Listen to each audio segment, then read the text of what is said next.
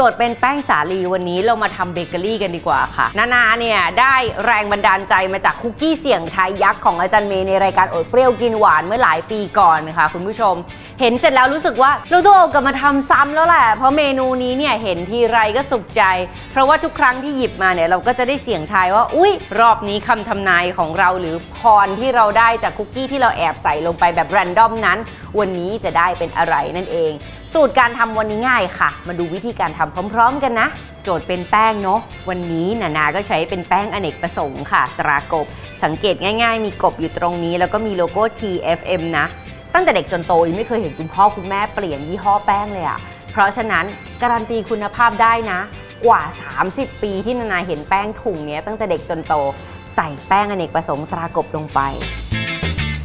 แป้งข้าวโพดค่ะ วานิลาผงอะส่วนผสมที่เป็นของแห้งอยู่ตรงนี้เรียบร้อยหมดแล้วทำหลุมตรงกลางคุกกี้สูตรนี้ง่าย แค่คนคนเองค่ะคุณขา วันนี้สูตรของนานาจะปรับจากของคุณแม่นิดดึง นานาใส่อัมพวากะทิร้อยเปอร์เซ็นต์ลงไปค่ะ อยากได้กลิ่นหอมๆของกะทิเพิ่ม น้ำมันถั่วเหลืองตรามรกต เชื่อมเข้มข้นสูตรดั้งเดิมตรามิตรผลค่ะ อร่อยเป๊ะพร้อมปรุง ด้วยความที่คุกกี้สูตรนี้เนี่ยแค่คนๆ เราไม่มีความจำเป็นนะคะ จะต้องคนจนกระทั่งน้ำตาลทรายละลายอีกต่อไปแล้ว เพราะคุณมีตัวช่วยเป็นน้ำเชื่อมเข้มข้นสูตรดั้งเดิมตรามิตรผลเนาะสุดท้ายใส่ไข่ขาวค่ะเท่านี้เองอะ่ะ ง่ายไหม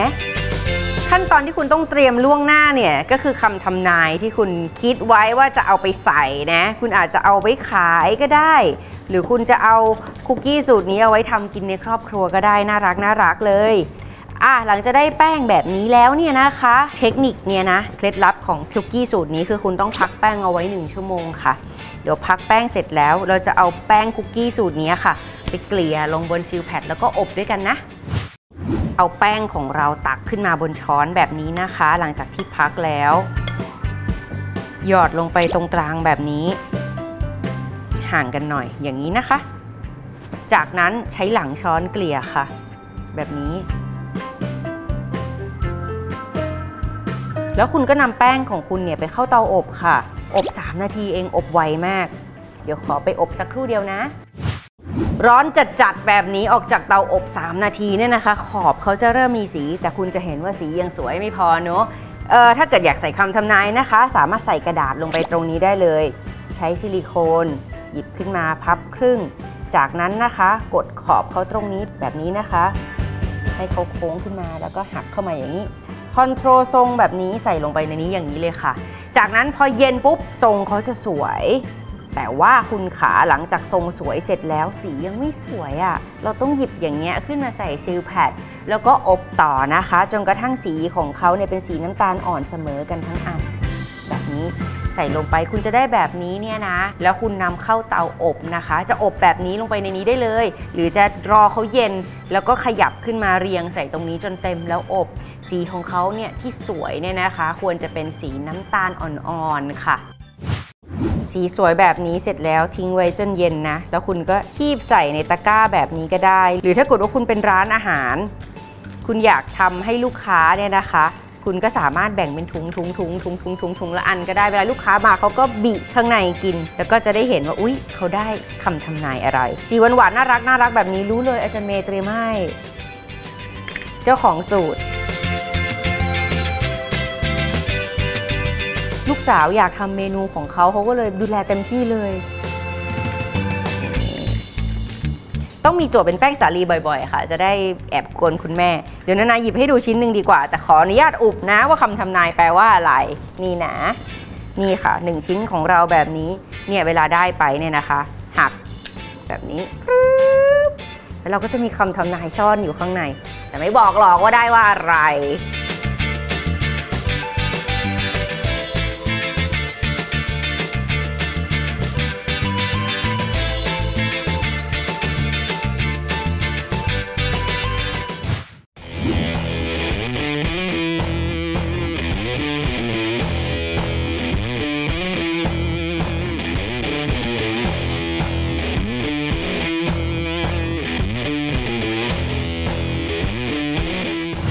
เอามาทอดจนได้กุยช่ายกรอบๆแบบนี้เลยทำเองก็ไม่วุ่นวายนะครับ สามารถทำได้เลยกรอบๆแบบนี้เลยครับ คุกกี้เสี่ยงทายทำง่ายมากๆค่ะ แต่ว่าจุกจิกด้านขั้นตอนและเวลาในการทำเท่านั้นเอง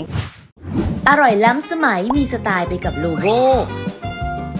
วันนี้เรามีเมนูสุขภาพรสจัดจ้านอย่างลุยสวน ที่เพิ่มความพิเศษด้วยคอหมูย่างสูตรเด็ด และน้ำจิ้มรสชาติอร่อยเข้มข้น ให้ลุยสวนของคุณมีความอร่อยและแปลกใหม่มาฝากกันค่ะ กับลุยสวนคอหมูย่างน้ำจิ้มหมูกระทะ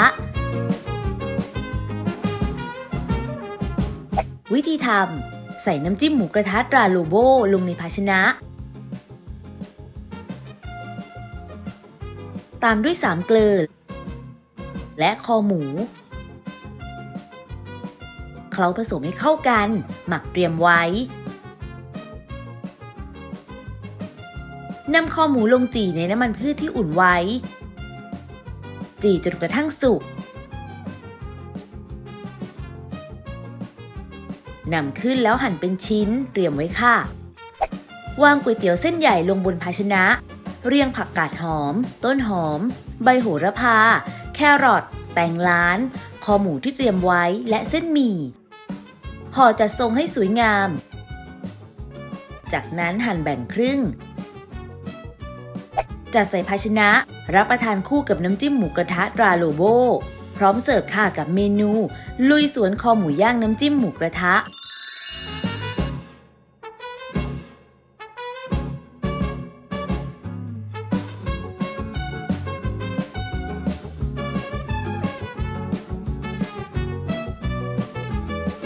ค่มีโลโบผู้รู้จริงในการปรุงอาหาร ก็ทำให้เมนูธรรมดาธรรมดา อร่อยล้ำสมัยมีสไตล์แล้วล่ะค่ะ